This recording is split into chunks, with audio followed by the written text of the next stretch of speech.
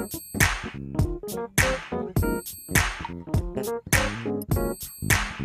So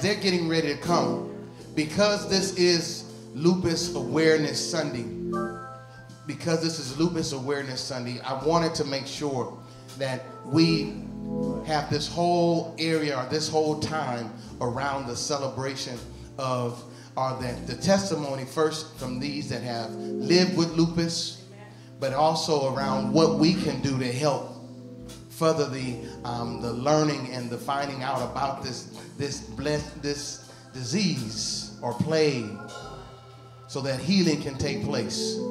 Amen.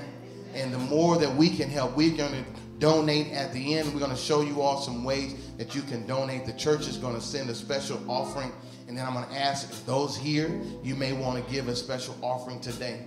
But the ladies that are coming today, I've known both of them um, almost all their lives. I've known Chanette since she was in her in her single digits at least. Amen. And then I've known Shayonna all of her life.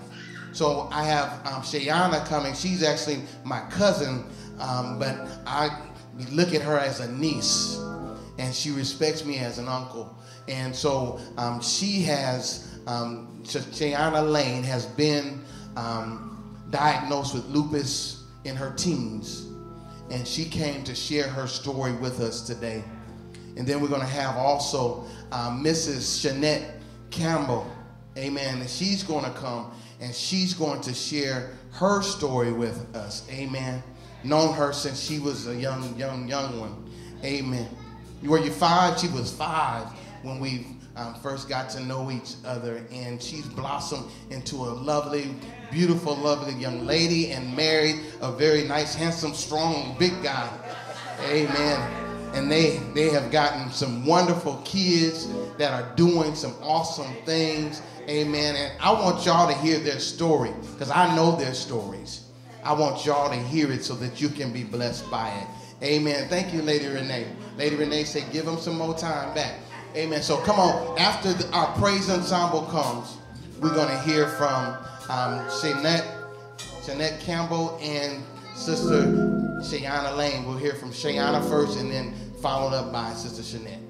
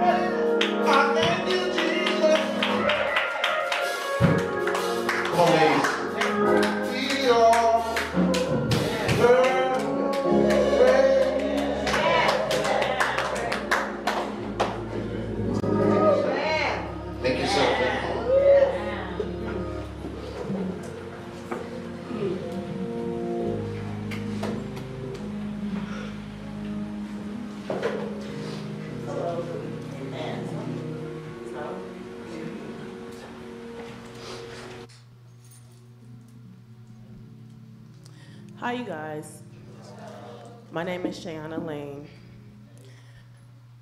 Please bear with me.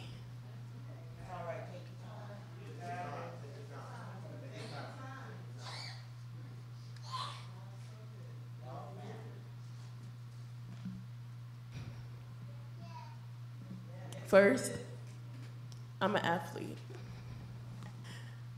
And April 2019, the week of 2019, um, my dad decided to give our basketball team a week off from practice, basketball practice. And instantly, a few hours, my body started shutting down.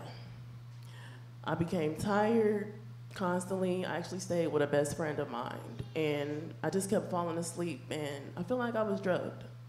And I just kept going because I'm like, you know, I'm kicking it with my best friend, but it wasn't normal. Um, we went to church, and I just kept falling asleep and falling asleep, and you know, I'm in church, so I can't leave. Um, we went over to a house after for dinner, and I fell asleep, and I said, you know, I need to go to the hospital. Um, I ran fevers for two days after, and I finally went to the hospital. Um, I was really told take Tylenol and go home. I went to Children's Hospital, and by the time me and my mother got home, they told me to come back to the ER because you had protein and your kidneys were leaking blood. And so, in about a few days, I was found to be told that I was dying if I didn't make it to the hospital when I did. Um, I went, and unlike some people, we don't know what lupus was. We never heard of it, it's not in our family. And it was just this big thing that shattered my life because, like I said, I played basketball. That was the love of my life. And to be told, you can't play no more. You can't do this, you can't do that. Take these medicines, and this is what you have for the rest of your life. I didn't know what to think, but I knew I had to keep going. So the next thing, me and my dad laid there, and what we do next? What we gotta do next? And so I did that, scared, didn't want to go to school, took about 15 different medicines. My, fo- my face blew up, but if I didn't go to school, I couldn't play basketball. Today I thought, if I didn't go to school and if I didn't play basketball, where would I be today? That saved me until my body started shutting down. I learned stress was a response for me. That's why I played sports. I needed a way to do something better. And because I liked basketball, I did what I wanted to do. I don't know where I would be if I didn't have or wasn't active in my life today. That helped me along the way of dealing with this illness, coping with stress, and everything. Um, I went through a lot. Um, the beginning of my years, I went into a coma. Like it was really bad. Um, people didn't know I would make it. And I think today, well, why have such little faith? For me, you know, I'm fighting, I'm this athlete. i never been sick a day in my life. You think I'm just gonna go out like that? So, okay, what we gotta do? Still, I would ask and question the doctors over and over. Nobody could give me an answer.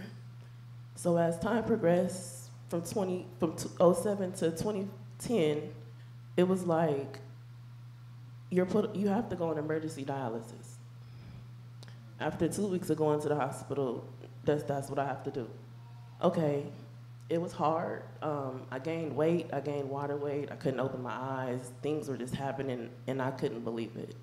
But I never said why, I never said how and who. What do we have to do so that I could survive my life and keep going? So I did that. It was hard, don't get me wrong. You know, who wants to do that at 18? You know, who wants to be sick at 15, taking 20 medicines?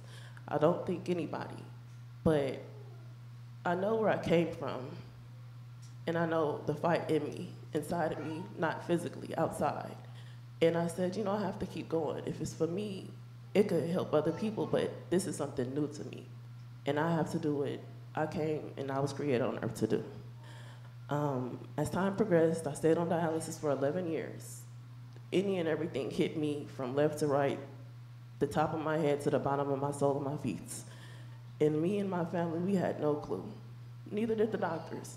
And that's what just let me know, like, if y'all don't know, it's something greater happening in my life. And I have time, and God is on my side.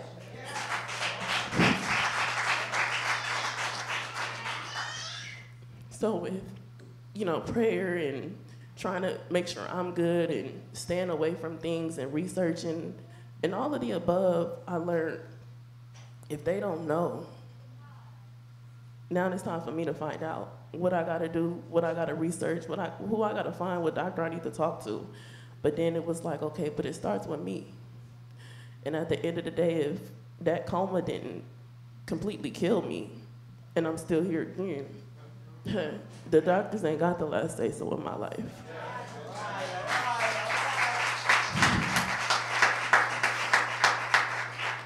So I went on to battle, like I said, all kind of different diseases and illness from 2010 to 2014. I literally didn't take pictures of myself between 2010 to 2013.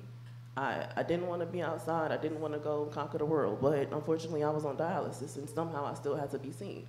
So I did it still with grace and mercy, you know, with God on my side and not worried about anybody else. I did that. I caught, you know, badness and not coping with dialysis the way I should, which led me to, you know, my heart stopping and too much liquid and overflow, whatever the case may be. But it taught me that I could beat this, that I'm better than this, and that if I learn knowledge, that I can complete this and conquer this. And that's what I did. So I started learning everything. I started seeing what I needed to do, what I needed to drink, what stressors I needed to get away from in order for I to survive. And I did that, and my life started getting better. Pain started, the cycle started leaving, and I started speaking it over my life.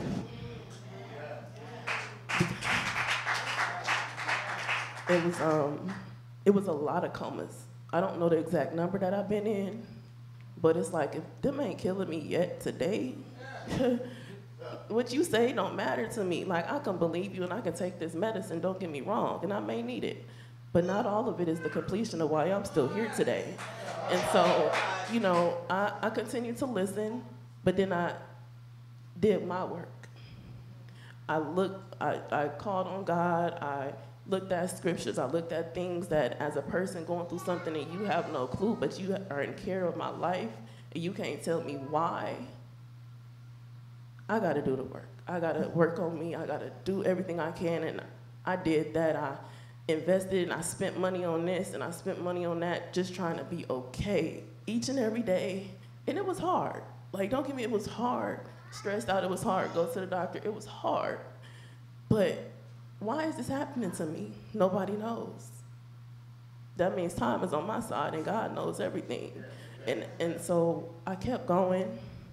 My last coma was in 2018.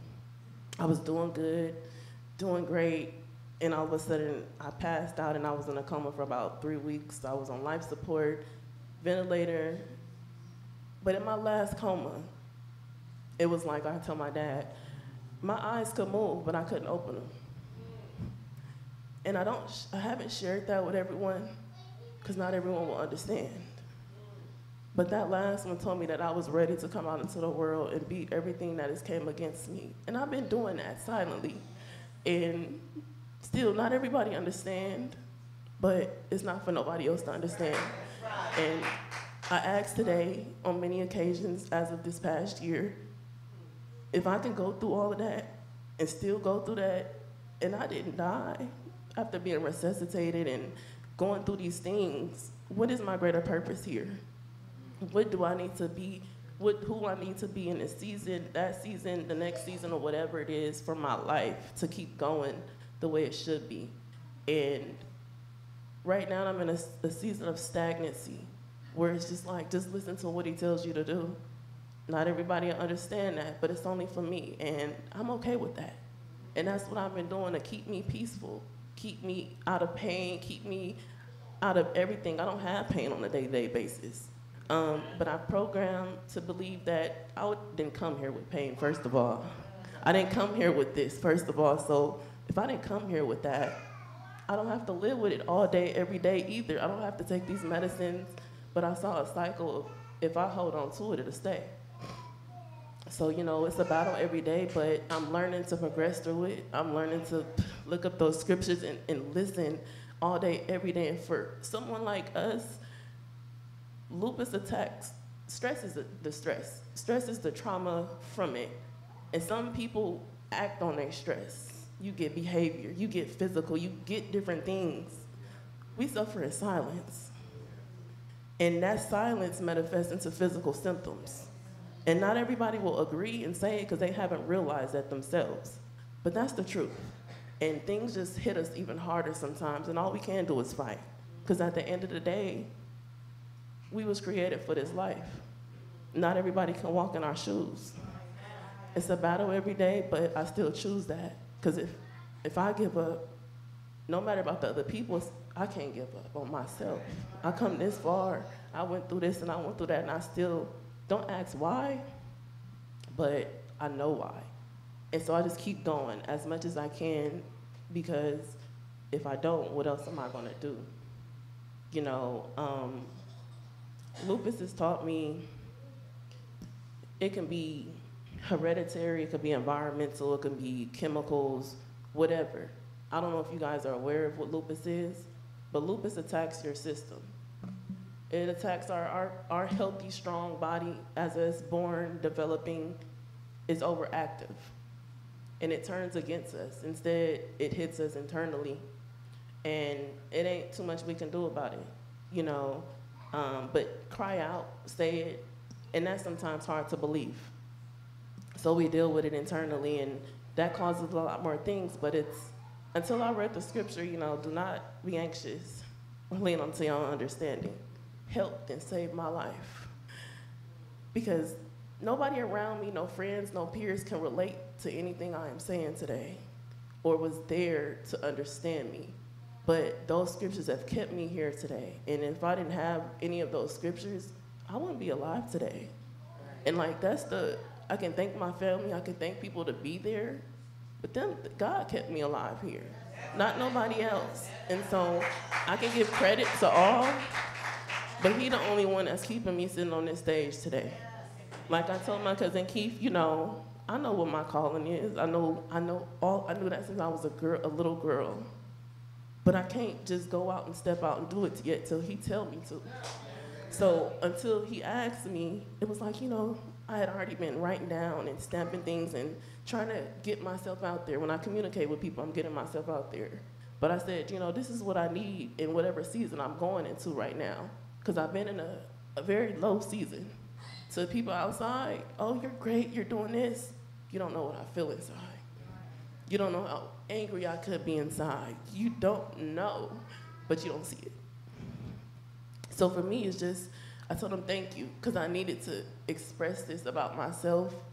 You can think what you want, but that helped me get out here today. It's hard, yeah, I still go through it, but not everybody can relate and just to have today to speak with also someone else is a very great opportunity for me to be here today because the enemy tried to attack me last night um, on many ways. It's like my aunt Nay asked me, well, do you got your speech ready? Do you got your paper ready? I'm like, well, wait a minute. He said five to 10 minutes. Like, you, I can't explain lupus in five to 10 minutes. It just don't work that way. I went to sleep. I couldn't wake, I couldn't wake up. I woke up and then I somehow in a dream I got a call that said, we're canceling. I'll see you next week. And I said, well, wait a minute. You know, everybody's coming out here to see this. Why would you tell me to cancel? And so it's like, okay, Shayonna, I don't prepare for things because I'll freak out. I'll wait to the moment to do so, scared and do it. Because if I prepare, I won't know what to say.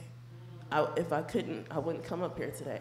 I can do it sitting down in that seat, just scared and don't know what I'm gonna say until I get right here. And so I made it today. I didn't know, I know I had to be here, but it took me a minute to actually accept that I had to be here. But I did make it, and I just want to say thank you for you guys all coming and understanding what lupus is a struggle to us. I'm glad I don't look like what none of them pictures look like. I'm glad I don't look like what I've been through. And I appreciate you guys all for being here today.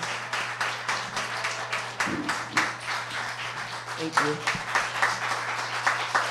Shay, will you will you share about your transplant real quick before you? Also, um, after 11 years in dialysis, long wait on the transplant list, no control over my life. In May 19, May 2019, I wrote kidney transplant positive. Oh, find me. I was working at the Oakland Museum and it was on a billboard where people can see it. It passed and passed, and that October, I met a young lady who had just got a kidney transplant. She said she got it from UC Davis, and I told her, you know, I tried there, but it seemed like the enemy was just against me, so I left it alone. And I said, okay, I'm gonna go home and I'm gonna try it, what you told me. And I believed everything. Me and my dad got the next shipment or flight to go out there to talk to them, to set up everything, arrange everything. And that was the start of a different transplant list in San Francisco that kept denying me for 11 years. We went out there, everything was on board, but then again, somehow the enemy caught us again. We were playing phone tag. My question was, well, will my insurance pay for this? Take everything, take care of everything, because if not, I don't know what I'm gonna do again. You know, maybe this is not my time.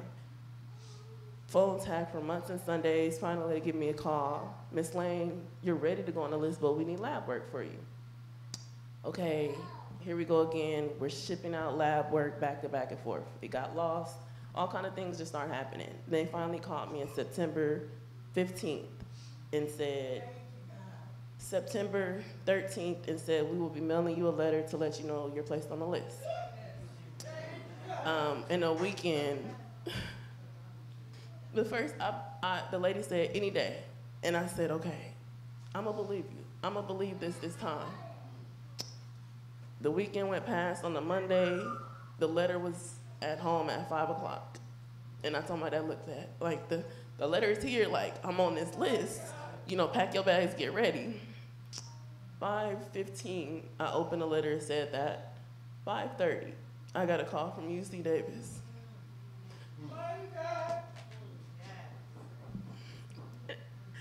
In the pandemic, and they just, you know, asked me the questions that I have been dying to hear. No, I don't have none of them symptoms. Well, it looks like we have a kidney for you.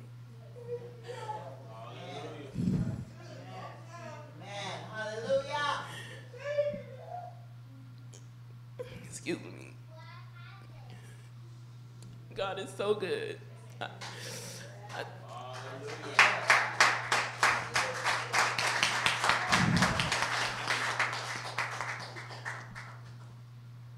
I told my dad, don't tell nobody.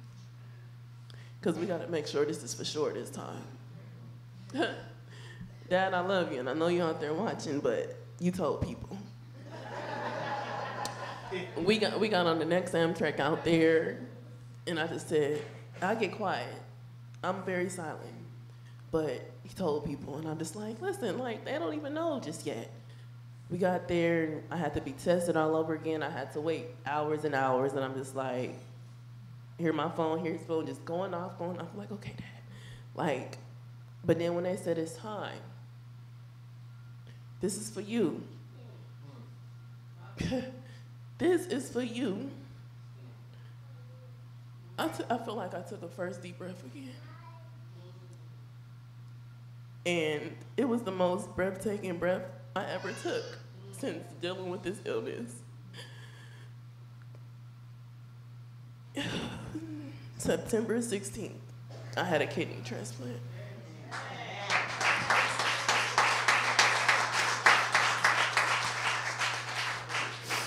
After 11 long years connected to a machine that's keeping me alive, and I just thought, you know, hey, that battle was always mine. And I conquered it, and I beat it, and I defeated everything that came against me and what the doctor said I couldn't do, could do. I did that. And I don't owe that to nobody but him above. I don't know where I'd be without him at all. And I'm glad for this journey. If I had to do it all over again, I got this. I got all of this, and I've been had it because he created me from the start like this. I didn't just equip and, and gather things. I did, but he knew who he created when he created me, Shayonna Lane. And that's all I can say is, you know, thanks, thank God, and the glory all to him. Amen. And that's my story.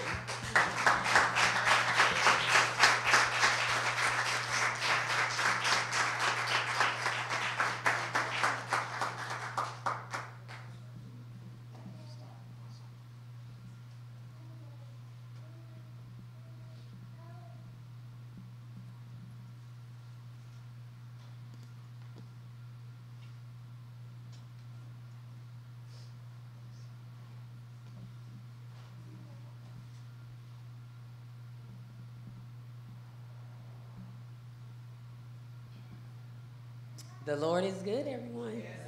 The Lord is good, and His mercy is everlasting. I'm so grateful to be. Y'all don't understand. I'm so grateful to be here, and you'll you'll understand in just a moment.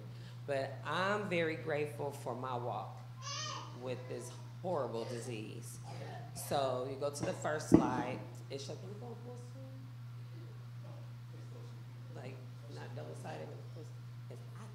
My eyes are healthy, but my vision is not. Okay, here we go. So it all starts towards the end of 2005. Now, what you see is my husband proposing to me on Christmas Day in 2005 at my church.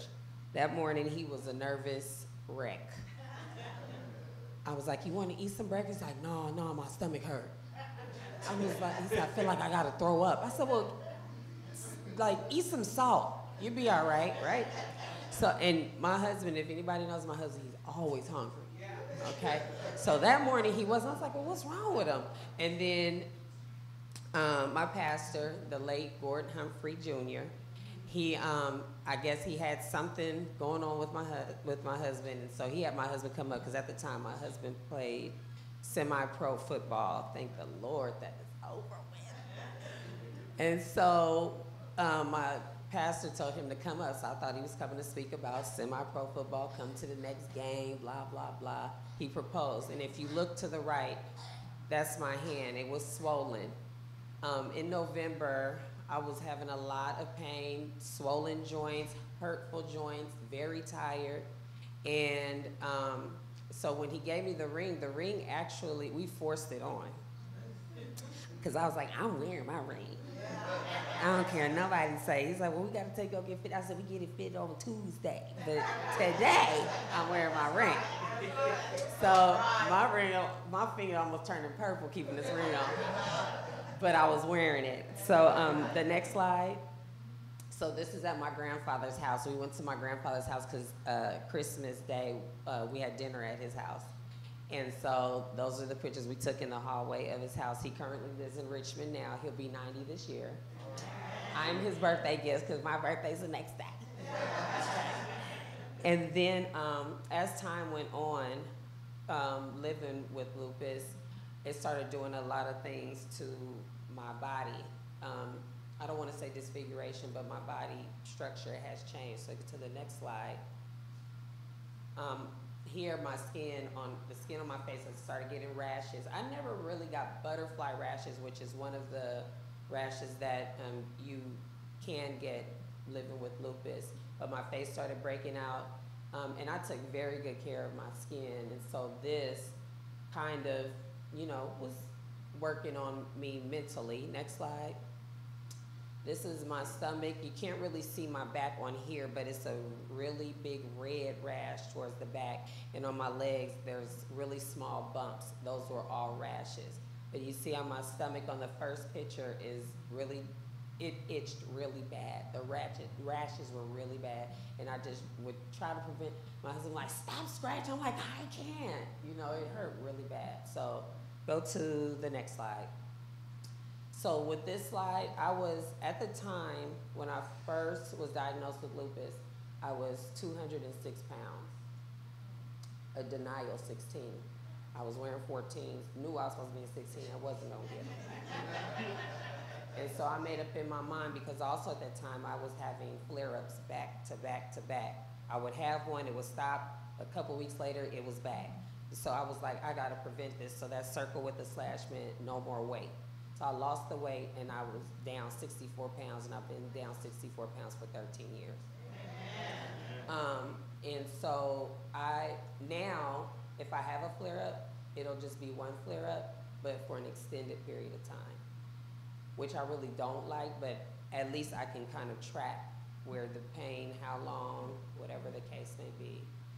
And, with the medications during this time period, so when I first started, I was on Plaquenil, I was on sales tab. These are different medications that you take as a lupus patient.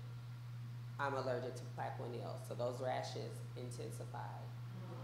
And I was like, I can't do this anymore. So once I started losing weight, I started taking, I started adjusting my body to some of the medication and supplements. Realized that supplements was the best way for me to go. And that's when I decided to take the natural route to help to heal my body. Um, and so one year I actually went to my rheumatologist. He's a um, old white Jewish guy, and I, he was like, "Okay, so you're on this medication?" I was like, "No." He was like, "Are you taking this medication?" I was like, "No." He was like, "Are you on any medication I prescribed you?" I was like, "No." And he was like, "And you're fine?" I said, "Yeah." He said, "Keep doing what you're doing." He didn't even stop me. He said, Any, if anything changes, you let me know. And he's actually the um, doctor that diagnosed me, and he's been my doctor ever since. And so, one thing I do appreciate is that, like she said, you have to do research and know what your body can take and what it can't take, and advocate for yourself. And you tell the doctor what this is what my body needs, because doctors even now still don't know how to treat this disease. So you have to tell them how this disease works for you and what you're going to do. This is what I need you to do. This is what works. There was a time, mm, I think my middle child was maybe two, and I ended up going into the hospital. I think it's Mount Eden, was then Mount Eden, but it's now Summit in Castro Valley. And my blood count was so low because I have chronic anemia. And so they gave me a blood transfusion. I was not happy with taking somebody else's blood. And so, um, as I talk further along, um, you know, I do iron infusions. Iron infusions does take a little longer to get you back on track with your um, blood count and your hemoglobin, but it works. And so when I went into the doctor, when I was in the hospital for one hospital visit, a doctor said, well, we need to go give you a blood transfusion. I said, no, you don't. And he said, yes, we do. Your blood count's low. I said, you don't need to give me a blood transfusion, but you can give me an iron infusion. And he said, but it'll take a little longer. I said, but it'll work. And so he said, okay. So then I had a phone call from the hospital room um, phone. It was the second doctor, talking, talking, talking. You need a blood transfusion. That's fine. I'm gonna take the iron infusion. Third doctor called. I'm like, I'm not scared of no doctors. First of all, you you're talking to the right person to tell you no. And so, and if anybody knows me, and my husband says it a lot, I'm stubborn, and he's right. Um, but it works for the good and the bad. um, but you have to advocate for yourself. And so I did ended up in I ended up taking having my iron infusions, three day process, and my numbers slowly went back up, but they went up. And so if you, um, you can go to the next screen. Um, back on the full screen, thank you. So if you look here, the month of May, I haven't done it these past two years, but every month of May, I will wear purple every single day. Yes, I had purple for thirty days. And if you look to the left, I have a green ribbon because this month is also mental awareness month. And so, um, I take that really to heart now because this time, no, four years ago, when I was in the hospital, I went through a state of depression in the hospital. What got me out of it was like, Chanette, you have too many more outfits you need to put together. and that's how I got out of it. No lie, I kid you not. You can do the next slide. So that's another um, picture when I had on my purple, but I definitely represented, and also on social media for 30 days, I had um, a, a fun fact of lupus awareness because a lot of people didn't know what was going on. You go to the next screen. So this is a right after a lupus walk. My hair had been falling out, but the second picture of the line of hair loss, I had a weave in my hair because I was very self-conscious about my hair falling out, and so I didn't want people to know what my head was looking like. So I always kept a weave in my hair. But that, for my hair being gone, was the glue from the hair pulling on it. And so you see a lot of patches in my head. And at the time, I think my middle child was two. Two or yeah, he was two because he wasn't really talking. Um, and so I asked my husband, he was in the game room playing Madden. And so I went in the bathroom that night. I mean, while he was playing, I went in the bathroom, closed the door, and I cried for 10 minutes. I cried, I cried, I cried. I came out of the bathroom. I said, Tino, can you cut my hair? He said, cut it? Like what? I said, bald. He said, like a close cut? I said, no, like your head. And so he's like, all right. And I didn't, at first I didn't, well, no, I never did. I never asked him, you know, how he felt about it. Because number one, I knew my husband liked hair. And I would never put myself in a position to be disappointed by asking him if he liked it, expecting an honest answer and get that honest answer. So you have to be mindful. If you're asking something from somebody, expect to get the honest answer. And don't be mad if you get that honest answer is not something you like. So I just made sure I didn't ask it. And so he went ahead and cut my hair completely bald. Next screen.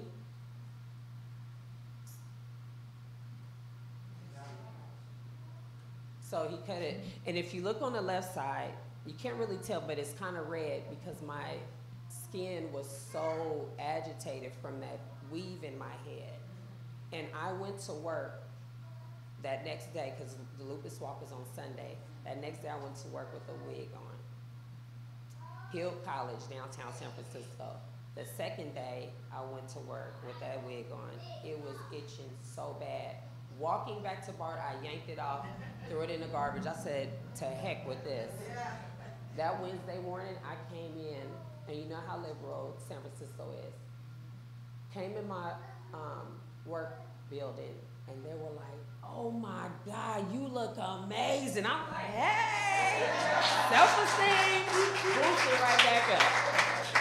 I was so, I was so happy to be embraced. But that night that um, my husband cut my hair, um, he, I knew he wasn't okay with it, but after he cut my hair, it was really bothering me. I was like, Tino, can you like get something to put on my head? It's just really, it's itching really bad. He got a hot towel and just placed it on my head and started rubbing it.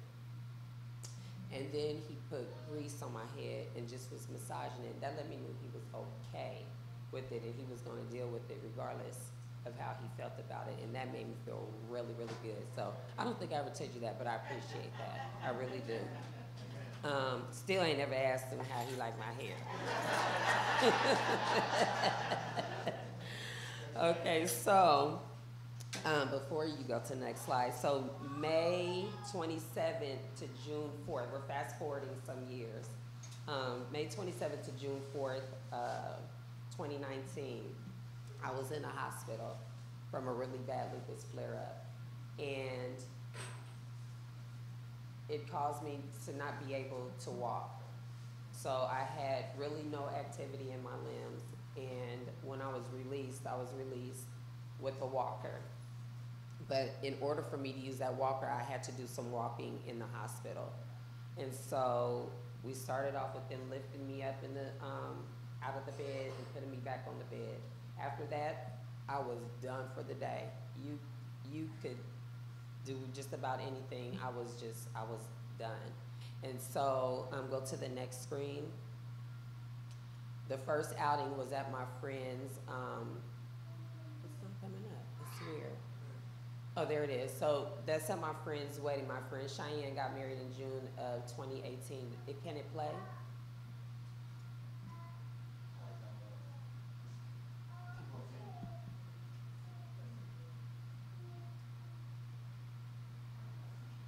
I don't know if you I don't know if it'll play or not, but as you can see, that was my first outing and I was on the walker.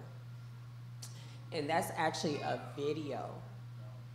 I was, um, if it can't play, don't worry about it. But that's actually a video of me on my walker. One of my favorite songs at a wedding is um, The Wobble. I was sitting in my seat. I heard the wobble come when I said, oh. Somebody come bring me my walker, please. And I went on the dance floor and wobbled with my walker. And at that time, you know, people were really praying for me because they knew, and it's something about the summer months. Does that happen to you? The summer months, it gets really, really bad. And so during that summer, I did not finish out. I worked for the Oakland School District, and during that that year, um, I didn't finish out the school year. My, the kids at the school were wondering what happened to Miss Chanette, and I was and I couldn't do anything. So when they saw me when I came back, they were really excited, but I I just couldn't finish it out. But I would come to work as sick as I was, barely walking, because I was under a micromanaging principal. Um, anytime I was off work, it was because of lupus, but because you can't fire me due to, due to sickness, she watched my every move. And so um, it got worse, it got worse to the point I just couldn't go back to work. And so I stayed off and was able to go back that next school year, but then that's when um, the pandemic hit. So um, you can go to the next screen. This is fast forwarding to February 2022. Actually, this is like January 2022. My hair started falling out again. Now, one thing that lupus visibly attacks is my head. And so, um, or my hair, alopecia really, really bad. And so you see a lot of blotches in my hair. You can see it really a lot because I was blonde for a few years. And so when my hair started falling out, you could go to the next screen. It was patches everywhere. And my hair is just falling out, just one, it got to the point I was at school and one of the students, she was like, Miss Chanette, do you know that your hair is falling out in the back? And I was like, oh, okay, thank, thank you, thank you so very much. She's like, not a problem. I was like, oh. but these kids will keep you on your toes, I'm telling you. And because I don't, in, in this sense, my feelings don't get hurt as bad because people really don't know. Whether they're adults, they're children, they really don't know what's going on when it comes to lupus. So I was just like, okay, let me give, let me pick my face back up off the floor because she really busted me out. And so, um, nevertheless, even though my hair was falling out, you go to the next screen. So this is February of last year. I was in my friend's wedding. My husband's brother, he cut my hair and still had me looking good. So I knew I was looking good. And I was on the dance floor. This is when they introduced the bridesmaids. That was me coming out to E40, Tell Me Where to Go. That's my song, y'all. and so um, then forwarding to um, May of last year, it's, the lupus started, I mean, it was blazing. And I just really, I got really, really tired. It took everything in me to get out of bed. Um, also, actually, actually, let me rewind a little bit. Four years ago, when I was in the hospital and I was on the walker, they did a kidney biopsy on me because when I was initially diagnosed with lupus, I was diagnosed with systemic lupus, which is supposed to be the worst out of the lupus that you have because it does affect your organs, all of your organs at any given time or not. And so they noticed there was a lot of protein in my urine. And so that's when they were testing, that's when they did a kidney biopsy. And a year after that, they did another biopsy because the first time they did it, they pulled tissue out of my back. And that's when they found out that lupus, systemic lupus turned into lupus nephritis. So it does affect my kidneys. Stage four lupus nephritis. There's stage, five stages of lupus nephritis. Stage four, you're supposed to be on dialysis. I have yet to go to a, a dialysis center. I have never had to be on dialysis, and I'm very grateful. And my protein, the protein was at positive four, is down to positive two. And I have moved down to stage two lupus nephritis. And a lot of that is because of the choices I made eating. Um, now I will splurge, but that's because if I'm if I know I want some dessert, I'm gonna have one plate of food so I can have some dessert. Because I didn't work a whole year to get this weight off and then to get it back on, right? So 13 years later, I still know how to maintain and keep my balance and keep this weight off. So I'm very grateful for that. So, um, but the every every time I go back, I just I'm grateful because I could be on dialysis. I already knew how to deal with it because my father that raised me um, had renal failure. He had renal failure for 11 years before he passed away. He didn't even pass away from renal failure; it was from a heart attack. But and I took care of him at home. He he took he had hemodialysis where he did it at home, and so I was prepared for it. But through it all, I, I had my support from my family. So even though, and I'm sure my husband still probably doesn't understand all of what I deal with, a lot of it is because I don't show it. I don't like pity. I don't want you to feel sorry for me. My kid, my middle child, you good? Yeah, I'm fine. Christian was like, Mom, do you need anything? You need me to get you some food? No. And then my oldest, Kamari, he would, um, which is what I'm about to get to, but he was my caregiver the last time I was in the hospital. So um, if you go to the next screen, so here, this is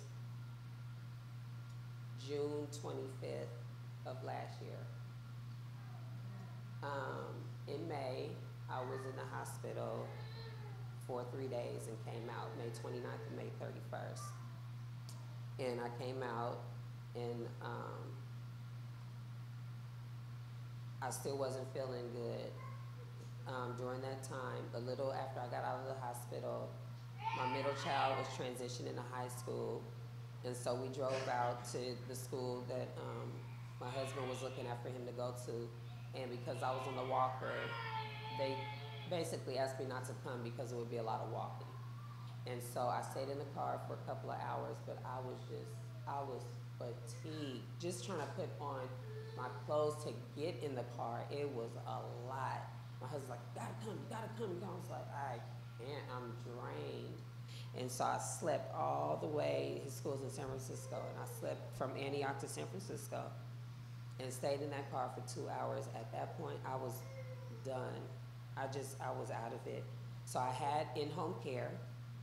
A nurse came, she was bathing me, and she was God sent because she went to the church that we were attending in Antioch and talking found that out. She was like, yeah, girl, I've been at that church. I was there for a few years. And then when um, my uncle took over the church, she had left like a little bit before that, but she prayed over me. She constantly was praying for me and was a good resource for my family. She helped me to get resources for my oldest son to help him to get a job and all this other kind of stuff. So she was very helpful in my life. But one particular day, June 25th of last year, she was helping me bathe. And I was in the shower in my chair in the shower chair, and I was like, I'm tired, I'm sleepy. And so I was leaning, and she was like, Chanette, you gotta stay up. And I was like, but I'm tired. She was like, Chanette, you gotta stay up. I said, I just wanna lay my head on the shower door. And she was like, Chanette, that's the only, that's the last thing I remember. Next thing I knew, I could remember opening my eyes a little bit, and I felt like I was in the back of a delivery truck, and I felt like they were trying to deliver me somewhere, and I'm trying to figure out how to get out the truck. Now, as I look back, I realize I was at the emergency doors of the hospital. And then I closed my eyes. Seven days later, I was in a coma, is what I'm gonna call it, because I don't know any other way to put it. I was in a coma for seven days. And so that first picture, if you could go back to the full screen, that first picture, you see how dark I was, gray, like no life. But I was on, I had no machine on me, no anything. I was just asleep for seven days. My eyes were moving, but they never opened. Middle picture, I was awake and looking at that hand, it looks like my oldest son's hand was on the bed. And I was pointing, I guess, maybe at my mom, but I don't even remember that. And then the pictures to the right are pictures when they were trying to help me to walk. And even then, my skin was just, it was, they, it was really gray. Um, that may have been the first day out of the coma. I lost 23 pounds and I'm already small. So the 23 pounds looked horrible. And the blankets I have on me felt like 50 pound weights. I couldn't even lift my leg to get it off. And trying to reach to pull it off was a lot of work. Um, you can go to the next screen. So this is at my friend's wedding. I think I mi- mixed the pictures up, but this is at my friend's wedding. I made, I stayed home, did everything I could to stay home because I had to make sure that I was at her wedding in June.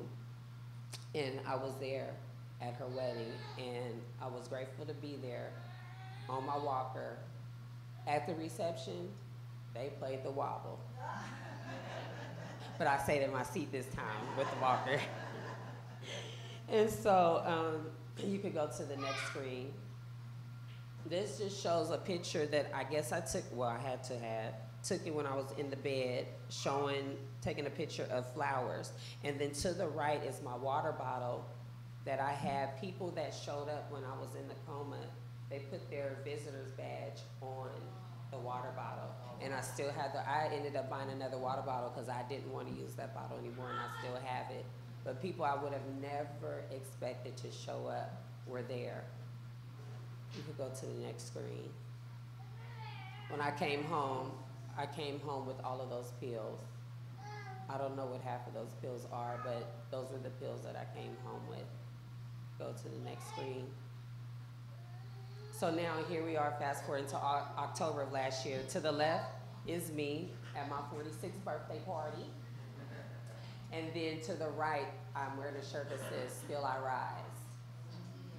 And um, which does speak volumes because it seems like every single time the devil tries to attack me, I pop back up as if nothing happened.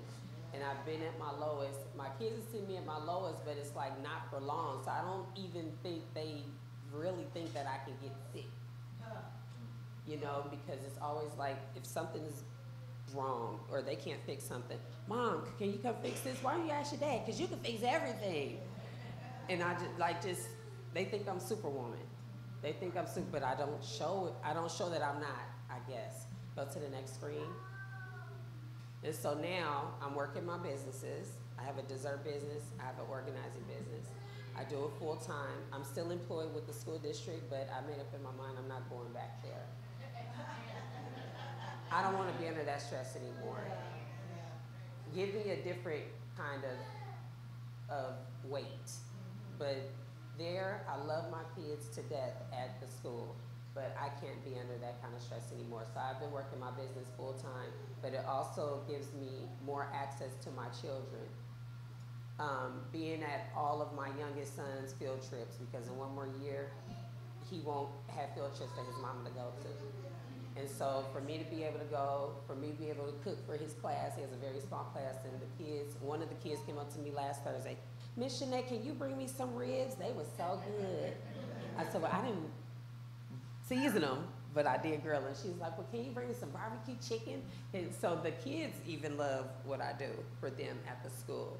So to be able to have that extra time to do what I need to do to compensate for what my husband isn't able to do because of his schedule, as far as the kids are concerned, I'm available now. And I'm very grateful for that because this, this hateful and hurtful disease has also opened doors for me. I've started my businesses right in the thick of the pandemic, and they're still going great. The next screen. So this is me. This is the end. No matter what you do, what you try to do, the devil, he's busy, but I got this. I got it.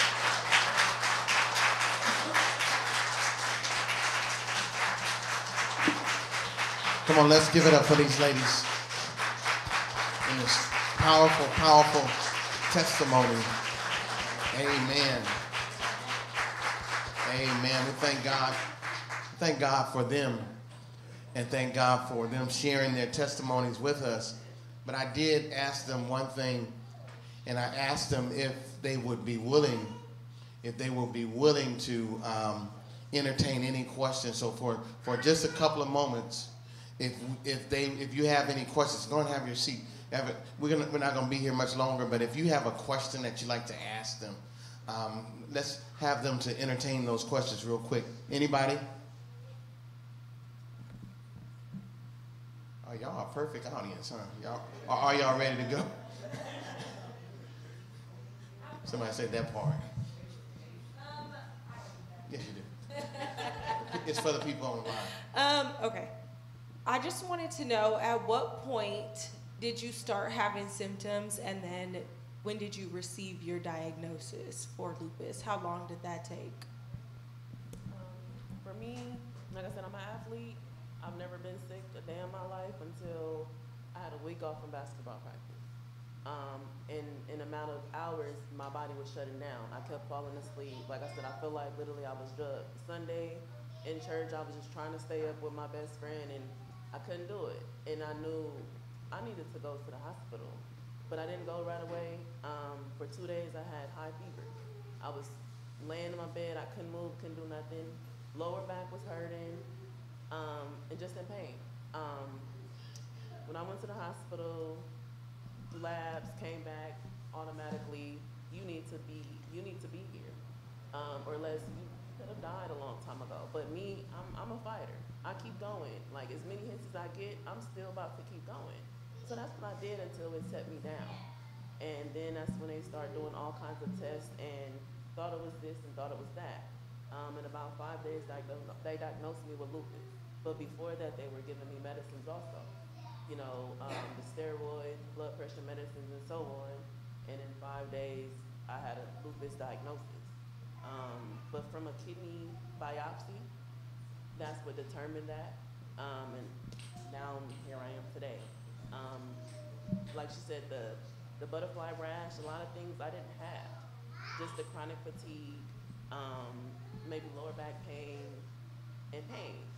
But just being an athlete, I already had joint problems, or I already, my body would hurt, but it didn't hurt till I, I had a, a week or a weekend off from my body not being active.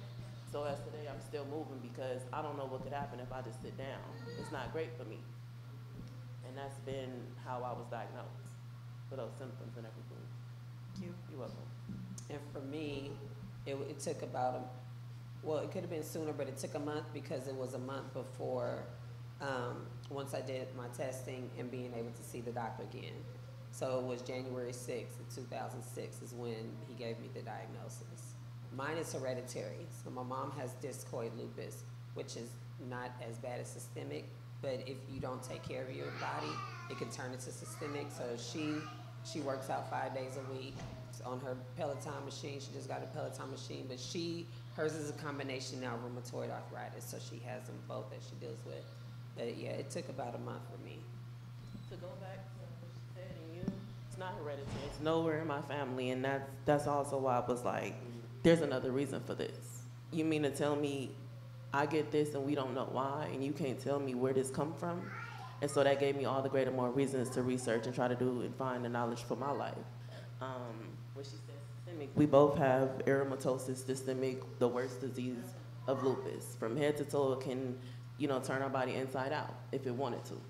Um, like she said, it can turn to systemic if you don't take care of your body, not just on a diet, not just physical, it's mental also. Um, you know, the mind is a crazy thing, and it's, I think for us, it's, we have to lean on God. Because if we don't, we won't be here longer. It, things will ridicule our body just because of what environment we are in. And so we have to prepare ourselves, like she said, she had to prepare herself to make sure she gets to her best friends. Her, her, the, um, with reception, we have to mentally prepare ourselves to go places on a day-to-day basis or we will not go. And it's nothing personal, but our body is like, no. And we have to listen.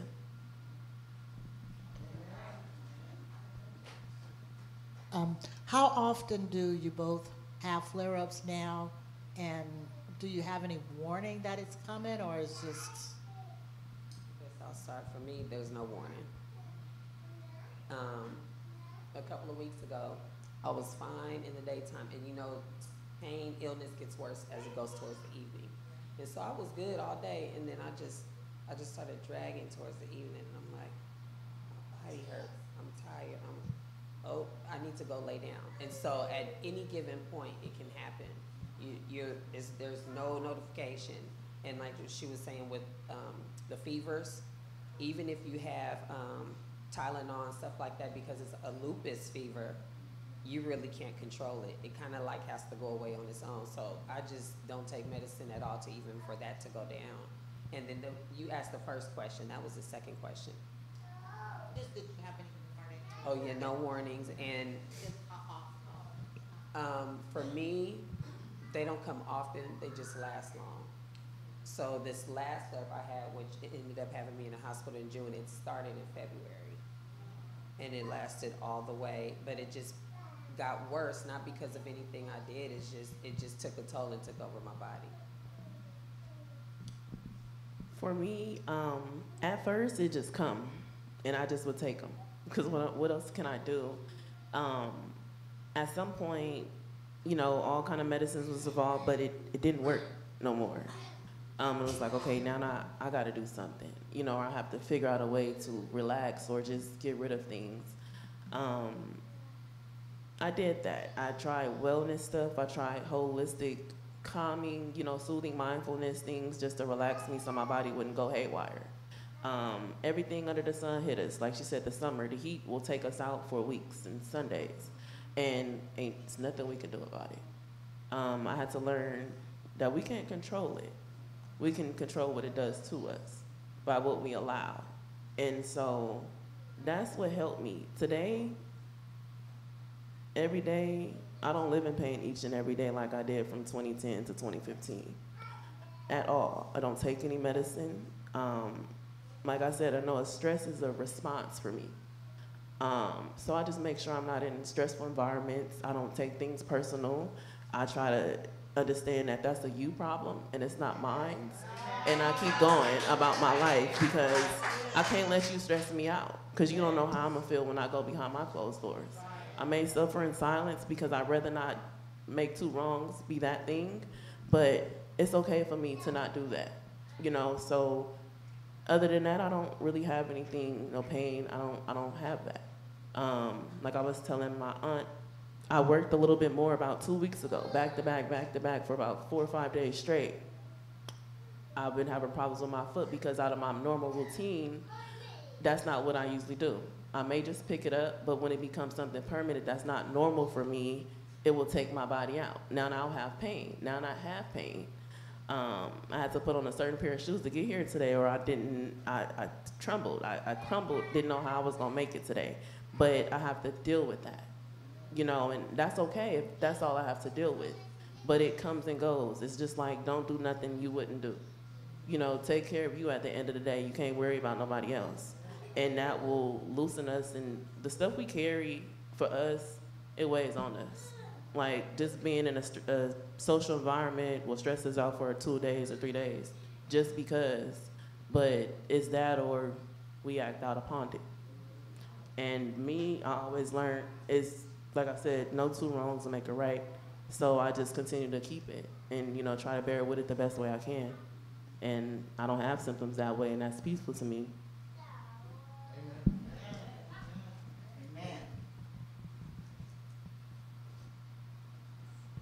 Good afternoon. Um, I, I was diagnosed with discoid lupus at 30 years old, and I'm 80 now. I also have rheumatoid arthritis. My rheumatoid arthritis was a, was something that I was not expecting. I was at work. My left knee started aching, aching really bad. And, oh, maybe I bumped it on the desk. Maybe I, you know, maybe I bumped it. The next week, it was like a mirror. The right knee did the same thing. That pain was so excruciating, and I know that I did not bump my knee. So I went to the doctor, and that's when they gave me all that blood work and everything, and that's when I was diagnosed with discoid lupus and rheumatoid arthritis. But I'm 80 and I know that this is nothing but God that's keeping me alive. He, nothing but God, nothing but Him. This is His journey for me. It's not about me, it's about His journey for me. And I just thank Him for that. I could never, if I had a thousand tongues, I couldn't thank Him enough for it. If I had a thousand ways to lift my hands, I couldn't lift them high enough. It's nothing but the grace of God for me. Come on, give God the praise. One more last question here. Um, well, I have a, a my uncle is dealing with lupus very very bad, and uh, my uncle he's dealing with lupus bad, and I'm getting kind of emotional because I didn't I don't want to know does it affect the men because he's lost functions of his arm, so he can't pick up a cup to drink or nothing. We have to. So it affects men the same way Yeah. as far as Yeah, women? we actually um, have a um, church member, his name is Greg, and he has lupus as well. And um, it does affect him now, and he's a longshoreman. So with him being a longshoreman and having this disease, it really, you know, he has back issues. Um, a lot of it is weight, but he does have back issues, and a, a lot of times he is down. Neuropathy is one thing that connects with lupus. Like I'm dealing with neuropathy in my ear right now, and neuropathy acts like the nerve cells are dead, and so because of that, like you end up getting dry skin because your your body, your skin is saying I'm dead, so I don't need to keep living. And so you got to stay hydrated. But neuropathy, definitely. My mom has it in her foot, and her foot gets really scaly because there's no feeling there. And so with me, like kind of like having no feeling in my ear, like I can feel myself rubbing it, but it, it's not taking the scratch away. It's itching. Oh, I'm sorry, it won't take the itch away. So if I scratch it, it still itches because that neuropathy is just like, I don't feel nothing. You're not doing anything. Yeah.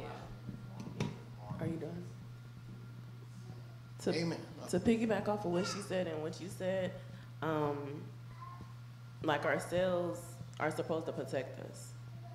Unfortunately, in certain people's situation, it turns against us.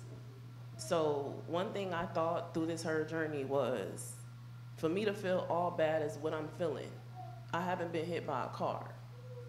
Nothing physically came against me. It was all internally.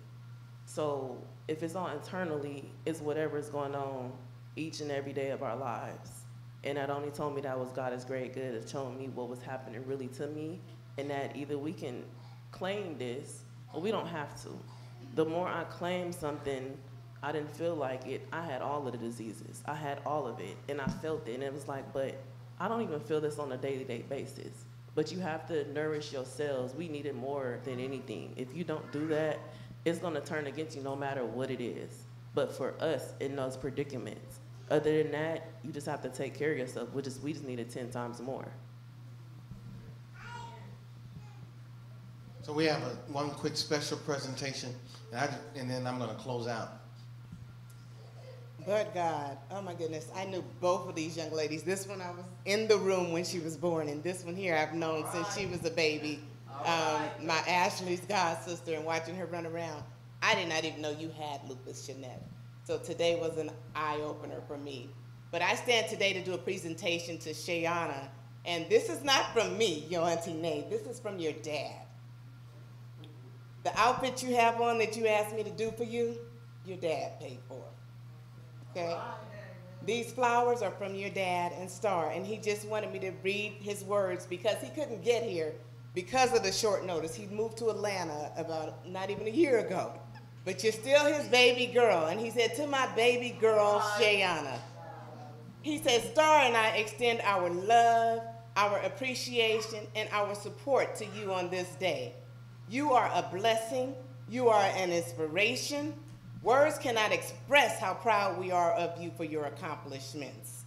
Being a spokesperson for this disease called lupus, you are a great example of a true lupus warrior, and that's what your shirt says. Your family honors your strength and your determination in your continued fight. We send our love and support for a job well done. I wish we could have been there for you. A special remark from your dad watching you go through this struggle when you were young and still trying to play top level basketball, you became my shero. I love you. You're my baby girl. This is from Duke, Star, Patrice, Devin, your uncles, and your aunties. We love you. And one last note for your mom to push through and to be here with you today, I'm so proud of you. I have to say that. I love you. I love you. Amen. Bring up that. I want you. Amen. Thank God for um, thank God for this. It Wasn't this wonderful? Amen. This, and I told them before. I told them before service that they were our sermon for today, and this is a powerful message that they're sharing because we have to do like the, their slogan that said, "Make lupus visible." Amen. Because you never know. Like my sister said, she never knew about Jeanette. You know, there's so many people that are going through this, and you never know. You can look at them and you think that they're, everything is fine and everything's going well with them, but they could be going through something internally. Amen. So again, give it up for them.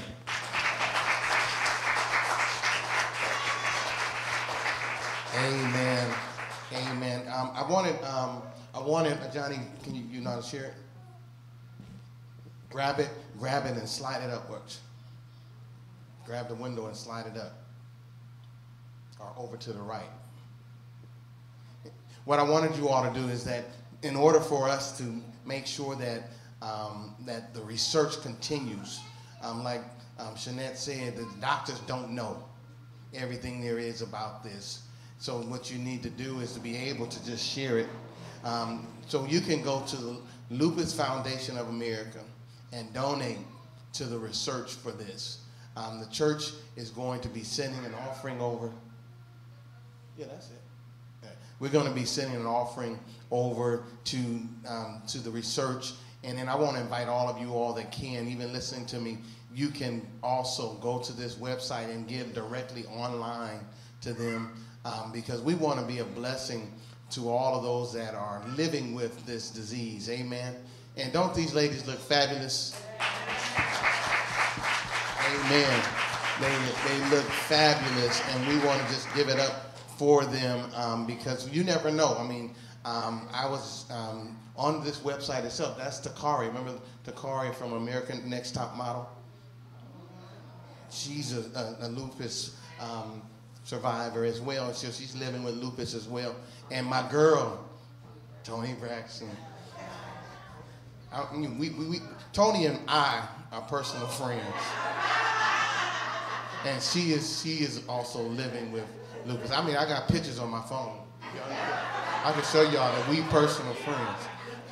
Amen. But but she is a, she has lupus as well, and so you never know who is going through this, and we just want to be a blessing to all those that um, we can. So if you can donate, donate, donate. We'll have a, a um, we'll have a basket right up here on the stage. You can bring something if you want to put it with what the church is going to do. You're welcome to do so. Thank you, ladies, for being with us today. You made our worship, you made our service today. Amen. So give it up for them. Amen.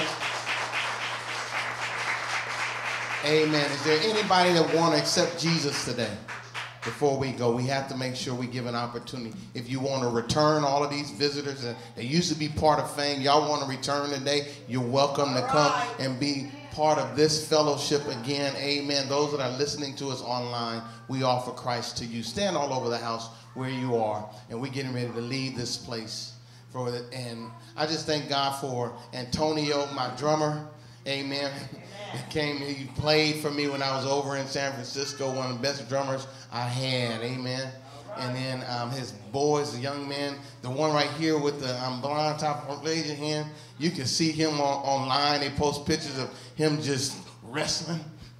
Amen. Wrestling in football too. All of them are in sports because the husband was in sports. Antonio was in sports. Amen. Let's, um, as we get ready to leave, just bow your heads with me.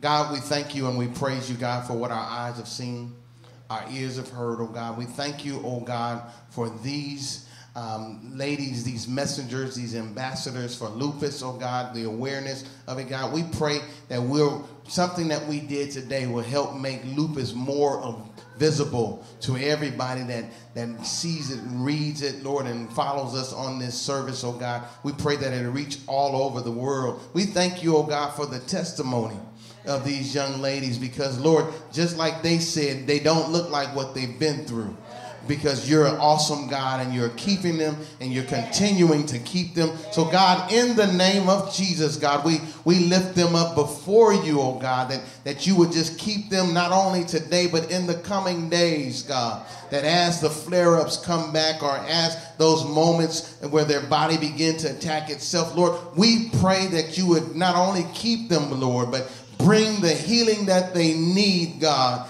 Just, just where it be only a reminder of what they're going through, but they won't be um, dealt with so heavily and so hard in their bodies, God. In the name of Jesus, bless the families. Lord, bless all the people that are here today. And then as we leave this place, oh God, we pray that you would just keep us in your keeping power till we come back together to give you praise again and again to give you all the praise that you do. In Jesus' name and for his sake. We'll see y'all again next week, same time, same station.